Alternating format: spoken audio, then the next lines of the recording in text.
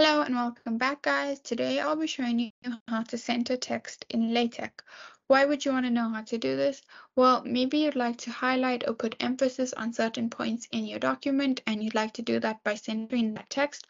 So I'll be showing you how to center text in LaTeX today. Check out the video description as I will try and leave written instructions there.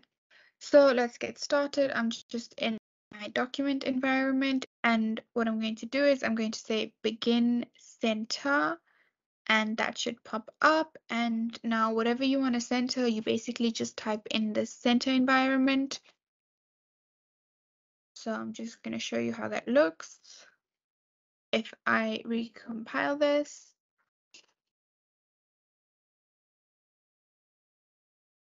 as you can see, my text is centered as opposed to if it was just typed out normally.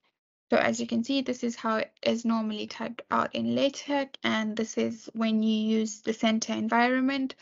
And that's basically it. If you wanted to know how to center text in LaTeX, this is the easiest way I know how. And if you know of another way, then leave a comment below and make sure to subscribe for more videos.